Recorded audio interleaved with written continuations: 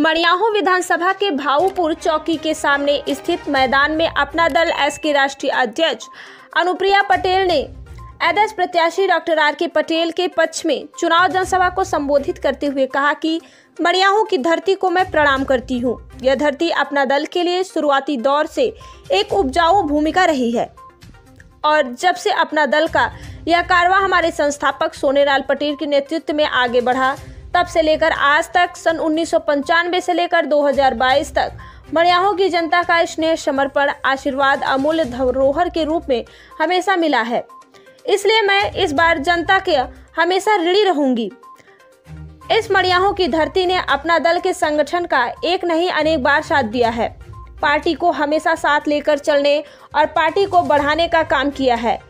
यह सब पार्टी के कार्यकर्ताओं का मेहनत है जो निरंतर हमेशा मनोबल हमारा बढ़ा रहा है, जिसके कारण मड़ियाहों की धरती ने हमें विजय का श्री तिलक लगाने का काम किया है। उन्होंने आगे कहा कि उत्तर प्रदेश में चुनाव होता है तो पूरे देश में हलचल मच जाता है। यूपी का चुनाव देश में इतना महत्वपूर्ण है कि सारे देश में कोलाहल पैदा कर देता है। पहले चरण से लेकर छठे चरण के चुनाव में बयार बह रही थी, अब सातवें चरण में एनडीए की तूफ़ान बह रही है।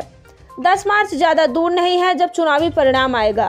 तो एनडीए का गठबंधन सुपर हीरो बनकर निकलेगा और बाकी जो गठबंधन है, वह बड़ा वाला ज़ीरो बनकर निकलेगा। आगे अनुप्रिया पटेल ने कहा कि मड़ियाहों की जनता से हमें इतना प्यार मिला है कि जब मैं शुरू होती हूँ तो बोलती ही रह जाती हूँ। यहाँ जो नारा इतना जोश पैदा कर देता है कि आवाज़ तक ही नहीं रुकती। उन्होंने जिला अध्यक्ष लाल बहादुर, माता बदल तिवारी, विधायक डॉक्टर लीना तिवारी को ज़िम्मेदारी देते हुए बोली कि प्रत्याशी डॉक्टर आर के पटेल के ईवीएम को इतना ज़ोर से दबाना है कि जीत कर विधानसभा में पहुँच जाए। मैं लखनऊ में बैठकर ईवीएम के बटन को देखती रहूँगी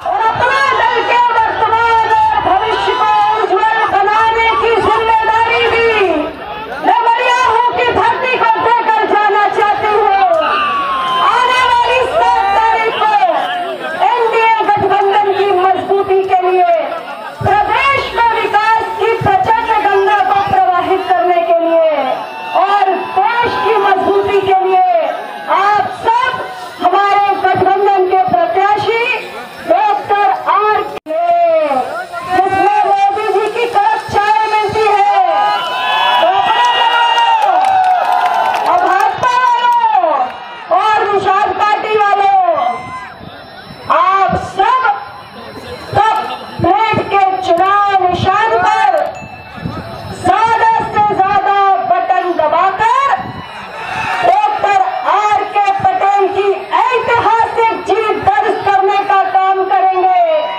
और इनके सामने मैदान में जितने भी लोग हैं उन सबकी जमानत जब्त होनी चाहिए और रविशंकर दुबे जी और इस सूची में अभी भी।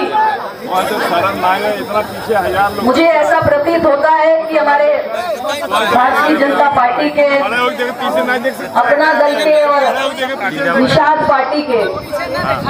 कुछ पदाधिकारियों के नाम ज़रूर शेष रह गए होंगे। तो ऐसे मेरे सभी निष्ठावान ऊर्जावान हमने चली रही पार्टी संगठन के प्रति कार्यकर्ता और पदाधिकारी भाइयों और बहनों। और यहाँ पर उपस्थित इस मरियाओं